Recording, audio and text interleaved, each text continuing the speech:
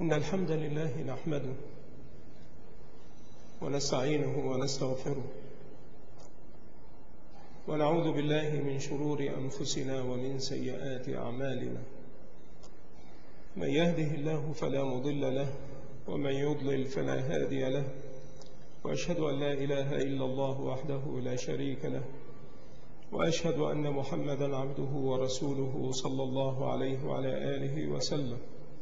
أما بعد فإن أصدق الحديث كتاب الله وخير الهدي هدي محمد صلى الله عليه وعلى آله وسلم وشر الأمور محدثاتها وكل محدثة بدعة وكل بدعة ضلالة وكل ضلالة في النار أما بعد.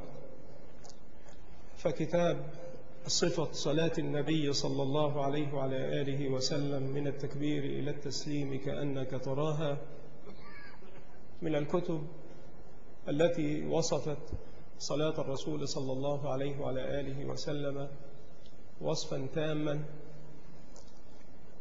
على مقتضى كتاب الله وسنة نبيه صلى الله عليه وعلى آله وسلم.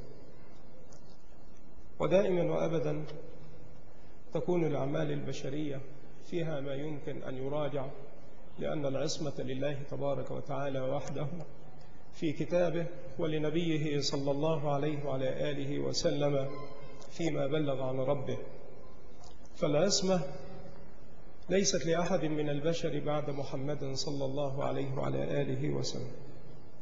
والشيخ رحمة الله عليه لخص كتابه في مختصر يسير لأجل أن ينظر المسلم في هذا المختصر. ربما في جلسة واحدة من أجل أن يعرف كيف كانت صلاة رسول الله صلى الله عليه وعلى آله وسلم. لأن أمر الصلاة شديد كما هو معلوم. والعلماء متفقون على أن تارك الصلاة كافر. لا خلاف بين العلماء على أن تارك الصلاة كافر. ولكن الخلاف الذي بين العلماء هو هل هو كافر كفر يخرج من الملة أو كافر كفر لا يخرج من الملة. ولكن لا خلاف بين أهل العلم أن تارك الصلاة يسمى كافرا لأن الذي سماه بذلك رسول الله صلى الله عليه وسلم. لا خلاف بين أهل العلم على ذلك.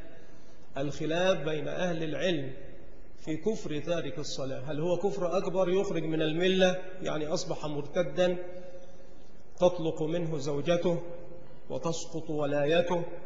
فلا يزوج من تحت ولايته لأنه صار ساقط الولاية ولا يرث أهله ولا يرثه أهله وإذا مات لا يصلى عليه ولا يدفن في مقابر المسلمين.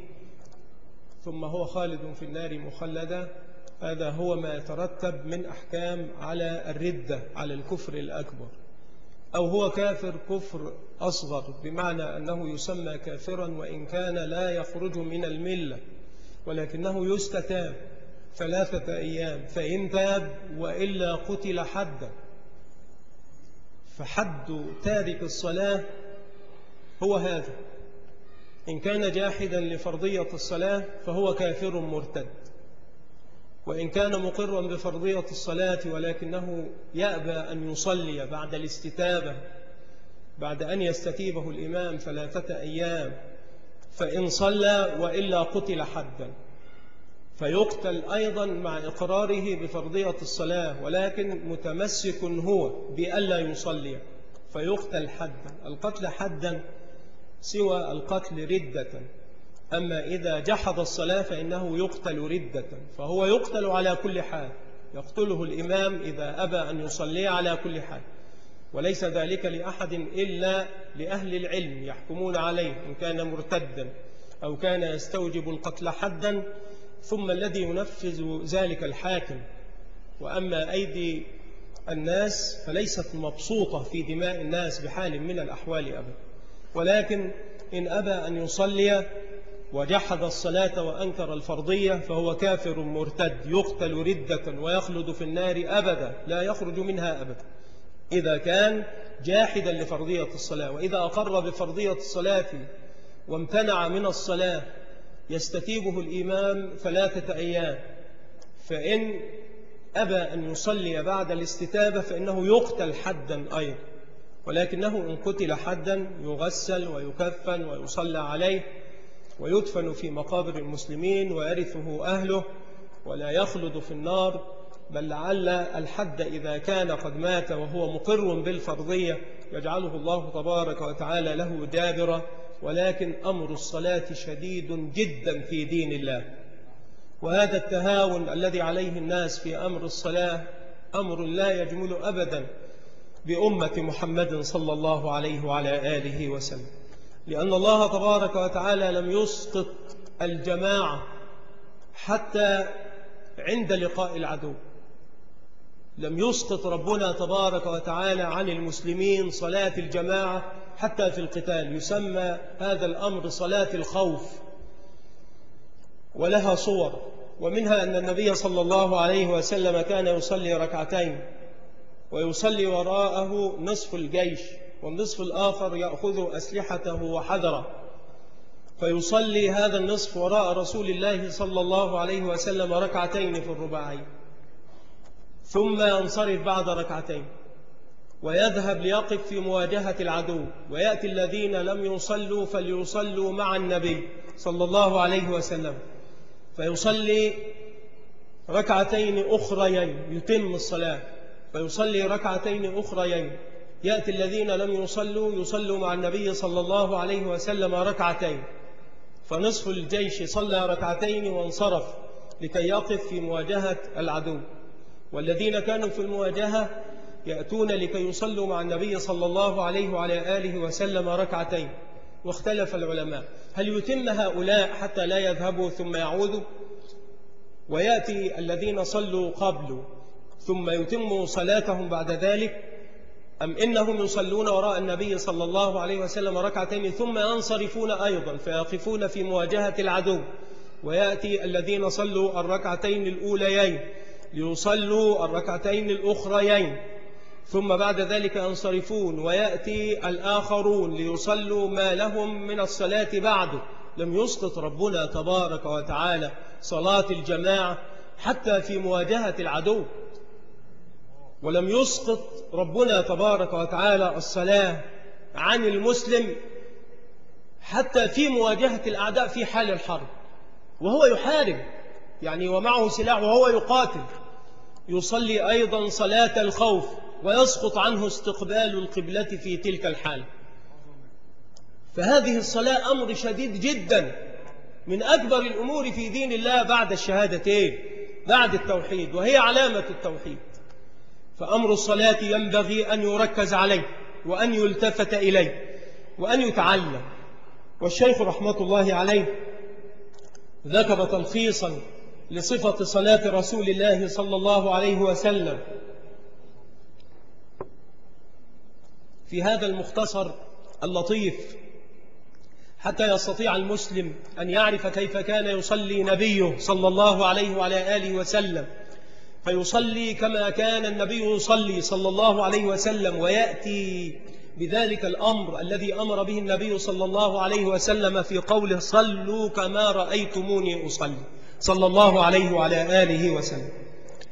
ذكر الشيخ تعريفات في بداية الأمر لأنه سيحتاجها بعد ذلك ويذكرها في رسالته. الركن ما يتم به الشيء الذي هو فيه وهو جزء منه. يتم به الشيء الذي هو فيه وهو جزء منه. ركن منه جزء منه. وأما الشرط فكالركن إلا أنه يكون خارجا عما هو شرط فيه. فلا يتم الشيء إلا به ولكنه ليس بركن فيه مثل الوضوء للصلاة. فالصلاة لا تصلح بغير وضوء. لا تكون الصلاة صلاة إلا بالوضوء ولكن الوضوء ليس جزءا من الصلاة. فهو شيء خارج عن الصلاة ولكن لا تصح الصلاة إلا بالوضوء. الواجب ما ثبت به الأمر من الكتاب والسنة. وكذلك الفرض. التفريق بين الفرض والواجب اصطلاح حادث عند الأحناف ولا دليل عليه. السنة ما واظب عليه النبي صلى الله عليه وسلم من العبادات دائما أو غالبا ولم يأتي به أمر إيجاب ويثاب فاعله ولا يعاقب تاركه ولا يعاتب.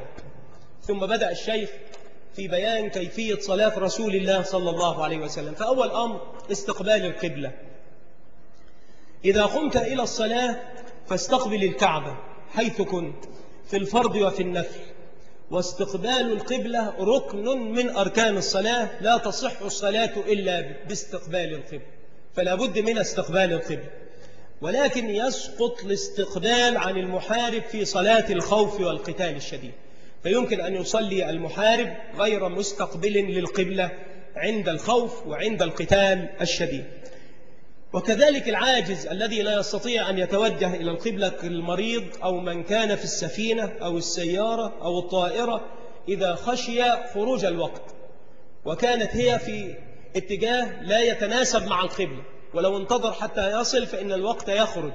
فيصلي ولو بضد القبلة والصلاة لا شيء فيها في هذه الحالة والنبي صلى الله عليه وعلى آله وسلم كان يصلي على الراحلة.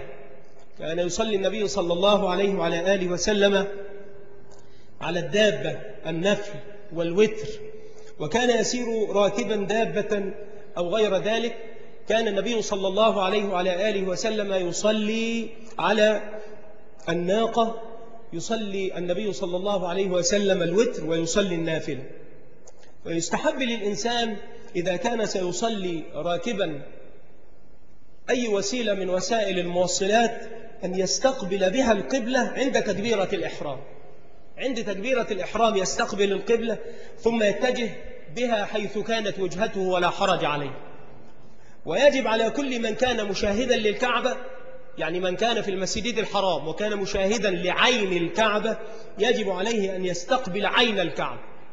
وأما إذا كان غير مشاهد للكعبة فيستقبل جهة الكعبة الأمر واسع. فعين الكعبة للذي يشاهدها الذي يكون في المسجد الحرام ويرى الكعبة عيانا فهذا يستقبل عين الكعبة لا يجزئه إلا ذلك. وأما إذا كان بحيث لا يرى الكعبة فإنه لا يلزمه إلا أن يستقبل جهة الكعبة. فهذا أول شيء استقبال الكعبة. لو صلى إلى غير الكعبة خطأ لغيم أو غيره من اجتهاد مع التحري جازت صلاته ولا إعادة عليه لو كان أخطأ.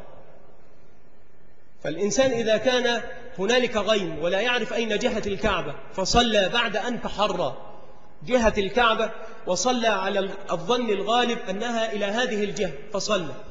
ثم بعد أن انقضت الصلاة علم أن الكعبة ليست في الجهة التي صلى إليه لا إعادة عليه وصلاته صحيحة وإذا جاءه من يثق بكلامه وهو يصلي فأخبره بأنه ليس على جهة الكعبة وأن جهة الكعبة إلى هذه الجهة أو تلك فعليه أن يبادر إلى استقبال الكعبة وصلاته صحيحة ولا حرج عليه فيما صلى قبل أن يوجهه من وجهه إلى جهة الكعبة لا حرج عليه فيما صلى قبل ذلك إلى غير جهة الكعبة. فأول أمر استقبال القبلة. ثم القيام. القيام للصلاة. ركن فيها. يصلي الإنسان قائما. ما دام على ذلك قادرا ويجب عليه أن يصلي قائما. وهو ركن إلا على المصلي صلاة الخوف والقتال الشديد. فيجوز له أن يصلي راكبا. والمريض العاجز عن القيام. يصلي جالسا إن استطاع. وإلا فعلى جنب.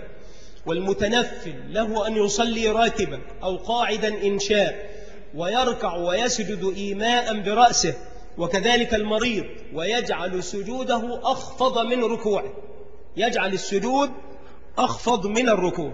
ولا يجوز للمصلي جالسا أن يضع شيئا على الأرض مرفوعا يسجد عليه وإنما يجعل سجوده أخفض من ركوعه إذا كان لا يستطيع أن يباشر الأرض بجبهته ولا شيء عليه. الصلاة في السفينة والطائرة. تجوز صلاة الفريضة في السفينة وكذا في الطائرة. وله أن يصلي فيهما قاعدا إذا خشي على نفسه السقوط. يعني إذا كان لا يستطيع الاتزان عند الصلاة من قيام يصلي قاعدا في السفينة أو في الطائرة. ويجوز أن يعتمد المصلي في قيامه على عمود أو عصا. لكبر سنه أو ضعف بدنه. وكذلك كان يفعل الأصحاب رضوان الله عليهم في قيام الليل فكانوا يعتمدون إما على الأعمدة وإما على العصي لكبر السن أو لضعف البدن مع طول الصلاة التي يأتون بها رضوان الله عليه. ويمكن للمصلي أن يجمع بين القيام والقعود. فيجوز أن يصلي صلاة الليل قائما أو قاعدا بدون عذر. أن يقعد بدون عذر وهو صحيح معافى. وأن يجمع بين القيام والقعود في صلاة الليل. فيصلي ويقرأ جالسا وقبل الركوع يقوم. فيقرأ ما بقي عليه من الآيات قائما. ثم يركع ويسجد ثم يصنع مثل ذلك في الركعة الثانية. وإذا صلى قاعدا جلس متربعا. إذا جلس قاعدا جلس متربعا. هذا هو الأصل. وإلا جلس أي جلسة أخرى يستريح بها. ولكن إن كان يستطيع أن يجلس متربعا فعليه أن يجلس متربعا فبهذا مضت السنة وأخذ بذلك الأصحاب رضوان الله عليه. ويجوز له أن يقف حافيا كما يجوز له أن يصلي منتعلا. والأفضل أن يصلي هكذا طار وهكذا طار. أن يصلي بالنعلين مرة وأن يصلي حافيا مرة حسب ما يتيسر له. فلا يتكلف لبس النعلين للصلاة فيهما ولا يتكلف خلعهما ليصلي حافيا. بل إن كان حافيا صلى حافيا وإن كان منتعلا صلى منتعلا إلا لأمر عارض. إذا خلع عليه أين يضعهما؟ لا يضعهما عن يمينه. وإنما يضعهما عن يساره إذا لم يكن عن يساره من يصلي معه. وإلا وضعهما بين رجليه. فبذلك صح الأمر عن رسول الله صلى الله عليه وعلى آله وسلم. وفيه إيماء لطيف إلى أنه لا يضعهما أمامه. وهذا أدب أخل به جماهير المصلين فتراهم يصلون إلى نعالهم. يضع عليه عن يساره. فإن كان هنالك من يصلي عن يساره جعل عليه بين رجليه ولا يجعل عليه أمامه يصلي إليهما. الصلاة على المنبر. يجوز للإمام أن يصلي على مكان مرتفع كالمنبر لتعليم الناس. يقوم عليه فيكبر ويقرأ ويركع وهو عليه. ثم ينزل القهقرى يعني يرجع الإنسان إلى الخلف بظهره وهو متجه إلى القبلة. حتى يتمكن من السجود على الأرض في أصل المنبر ثم يعود إليه فيصنع في الركعة الأخرى كما صنع في الركعة الأولى. ويجب أن يصلي المصلي إلى سترة وأن يدنو من السترة. يجب عليه أن يصلي إلى سترة ولا فرق في ذلك بين المسجد وغيره ولا بين كبيره وصغيره لعموم قوله صلى الله عليه وسلم لا تصلي إلا إلى سترة ولا تدع أحدا يمر بين يديك فإن أبى فلتقاتله فإن معه القرين يعني الشيطان. يعني إن كنت اتخذت سترة تصلي إليه. وجاء إنسان ليمر بين يديك فلا تدعه يمر بين يديك فلتقاتله.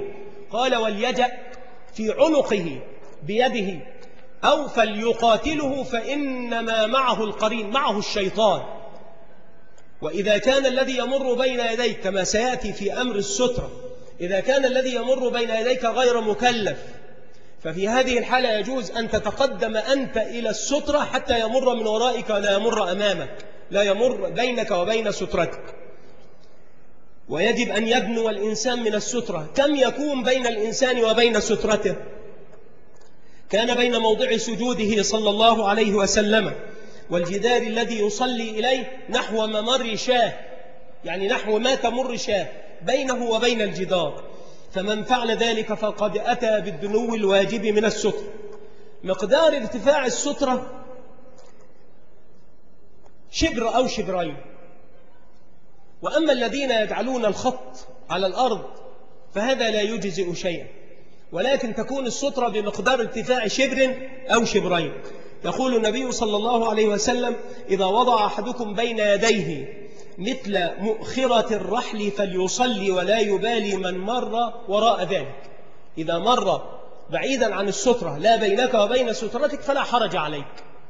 أما أن يمر بينك وبين سترتك فعليك أن تدافعه بل أن تقاتله فإنه شيطان. كما قال النبي أو معه القرين معه الشيطان كما قال النبي صلى الله عليه وسلم. يتوجه الإنسان إلى السترة مباشرة. يعني لو قام إلى العمود إلى الأسطوانة وأراد أن يجعلها سترة ودنا منها. بعض الناس ينحرف يمنة أو يسرة ولا يصمد إلى السترة تماما ومباشرة وهذا خطأ ومخالف للسنة. يتوجه إلى السترة مباشرة لأنه الظاهر من الأمر بالصلاة إلى السترة.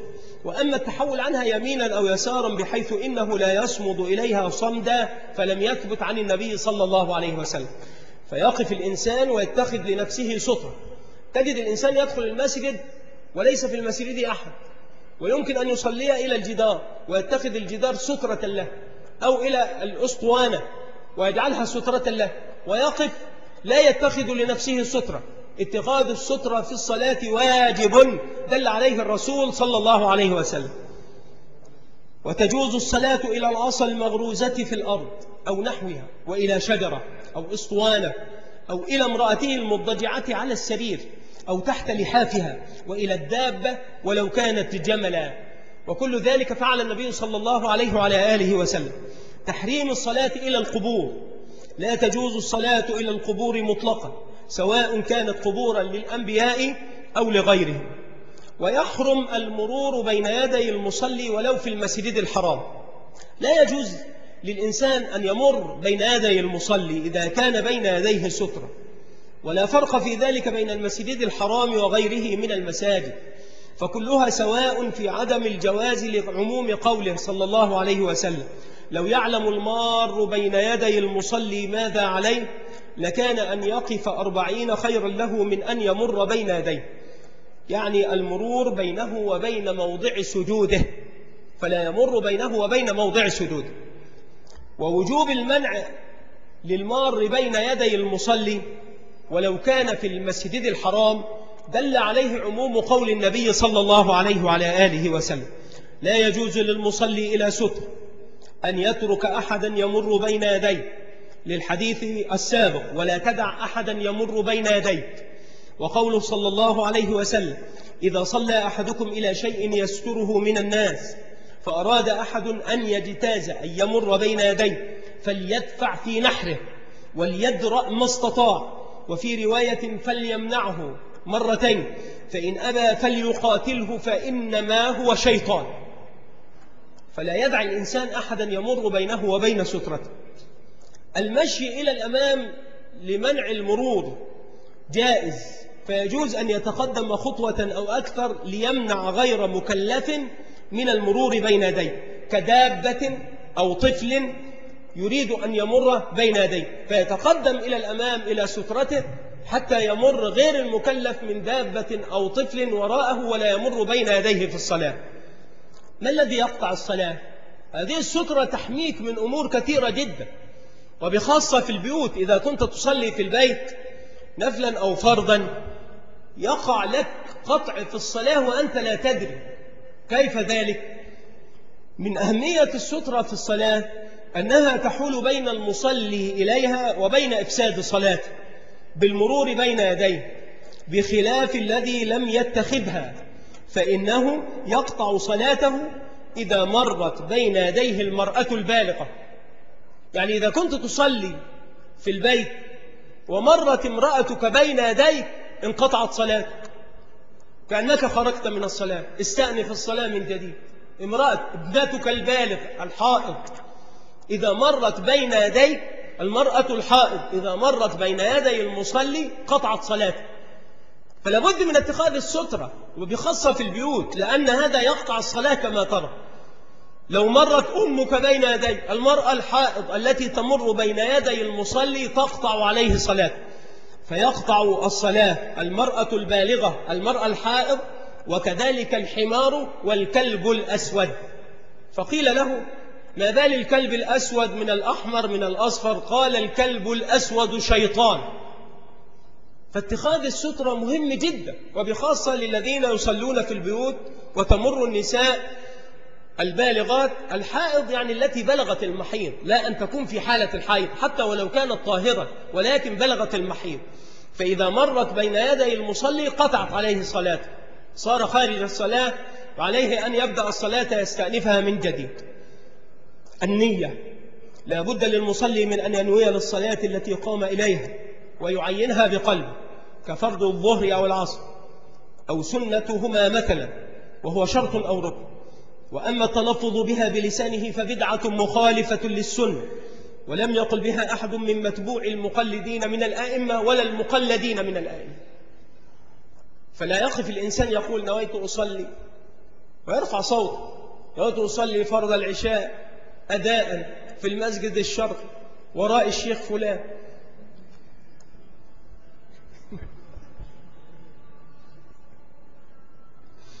التكبير. ثم يستفتح الصلاة بقوله الله أكبر. وهو ركن لقوله صلى الله عليه وسلم مفتاح الصلاة الطهور وتحريمها التكبير وتحليلها التسليم. ويأتي بها كما ينبغي أن يأتي بها. الله أكبر. بعضهم يقول الله أكبر وبعضهم يقول الله أكبر أو يقول أكبر. إلى آخر هذه التحريفات في هذا الأمر اليسير فينبغي على الإنسان أن يضبطه وأن يتعلمه. يستفتح بالتكبير ولا يرفع صوته بالتكبير في كل الصلوات إلا إذا كان إماما. ويجوز تبليغ المؤذن تكبير الإمام إلى الناس. إذا وجد المقتضى أو وجد المقتضي لذلك كمرض الإمام وضعف صوته أو كثرة المصلين خلفه. ولا يكبر المأموم إلا عقب انتهاء الإمام من التكبير. يرفع يديه ولرفعهما كيفية. يرفع يديه مع التكبير. الله أكبر مع التكبير. أو يرفع يديه قبل التكبير قبل أن يكبر يرفع يديه. أو بعد التكبير كل ذلك ثابت في سنة البشير النذير صلى الله عليه وسلم. ويرفعهما ممدودة الأصابع. لا يجعلها هكذا ولا هكذا وإنما يرفع يديه ممدودة الأصابع. ويجعل كفيه حذو منكبيه هكذا ممدودة الأصابع إلى حذو المنكبين. أو يبالغ فيرفع يديه هكذا ممدودة الأصابع إلى فروع الأذنين. وأما أن يمس بالإبهام شحمة الأذن يمينا ويسارا فهذا من البدع التي ليس لها أصل في سنة الرسول صلى الله عليه وسلم. يرفع يديه مع التكبير أو قبل التكبير أو بعد التكبير كله جائز. يرفع يديه وهو يمد أصابعهما من غير ما تكلف لضم ولا تفريد.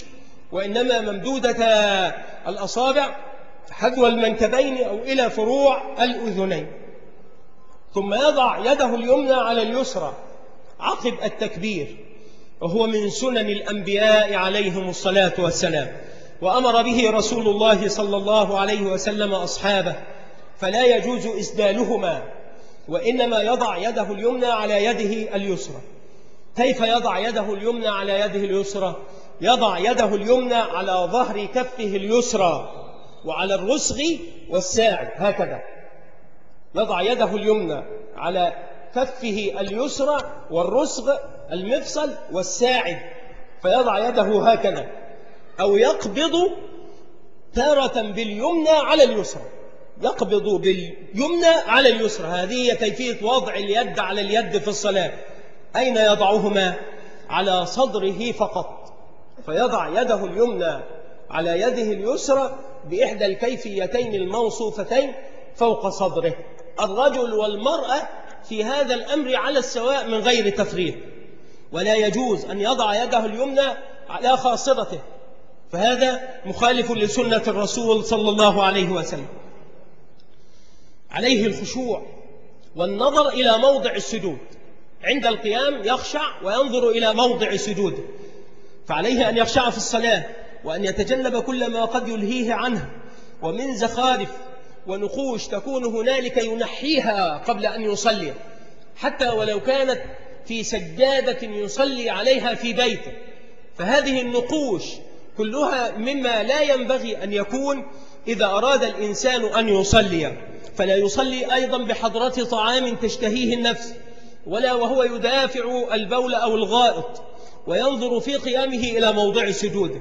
ولا يلتفت يمينا ولا شمالا في أثناء الصلاة فإن الالتفات في الصلاة اختلاس يختلسه الشيطان من صلاة العبد.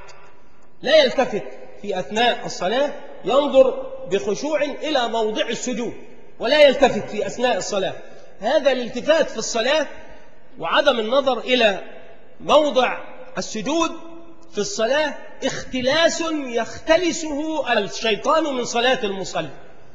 هذا اختلاس يختلسه الشيطان من صلاة المصلي. ولا يجوز أن يرفع بصره إلى السماء لأن النبي صلى الله عليه وسلم حذر الذين يرفعون أبصارهم إلى السماء أن تخطف أبصارهم أو أن يستحيل الواحد منهم بهيئة رأسه كهيئة حمار إذا رفع قبل الإمام. فهذه من التي يحذر بها النبي صلى الله عليه وسلم من المحذرات الأكيدة. إذا رفع الإنسان بصره إلى السماء في الصلاة فإنه لا يأمن أن يخطف بصره. وكذلك الذي يرفع رأسه قبل الإمام لا يأمن أن يحول الله رأسه إلى رأس حمار.